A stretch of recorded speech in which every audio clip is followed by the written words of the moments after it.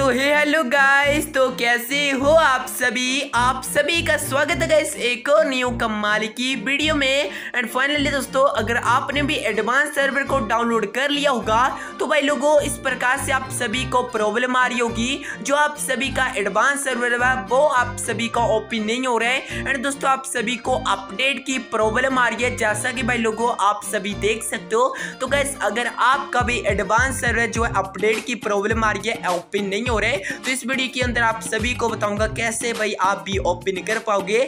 तो चलिए गैस आज की वीडियो को स्टार्ट कर लेते हैं। वीडियो स्टार्ट करने से पहले इस वीडियो को लाइक कर देना। फ़र्स्ट ऑफ़ ऑल दोस्तों चैनल को सब्सक्राइब भी कर देना। तो चलो वीडियो को शुरू करते हैं बिना किसी बकवास के। तो गैस जैसा कि आपको पता है एडवांस एक सितंबर को ओपन होने वाला था, जो कि दोस्तों काफ़ी बंदों ने क्या किया होगा? थर्ड पार्टी वेबसाइट से, या फिर दोस्तों एप्लीकेशन से डाउनलोड कर लिया होगा, या फिर यूट्यूबर के कहने पर डाउनलोड कर लिया होगा।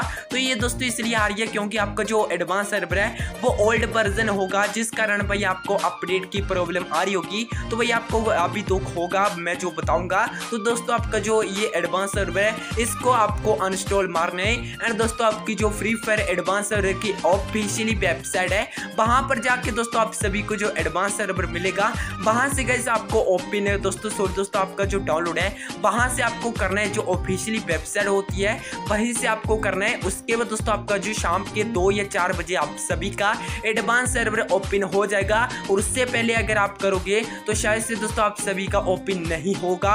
एंड दोस्तों आपको प्रॉब्लम आएगी कि चार बजे ओपन होगा। इस प्रकार से होगा। और दोस्तों इस बात का ध्यान रखना है कि फ्री फायर की ऑफिशियली वेबसाइट से ही करना अगर थर्ड पार्टी से करोगे तो भाई आपको अपडेट की प्रॉब्लम आएगी। और दोस्तों अगर आप फ्री फायर के ऑफिशियली वेबसाइट से करते हो, तब भी आ रही है तो भाई आप सभी को बीपीएन यूज़ करना है जो कि करना है, आप सभी को क्यूक बीपीएन का एंड क्यूक बीपीएन को आपको दोस्तों सिंगापुर सर्वर से कनेक्ट करना है। उसके बाद दोस्तों आप सभी का hundred percent advance server open हो जाएगा।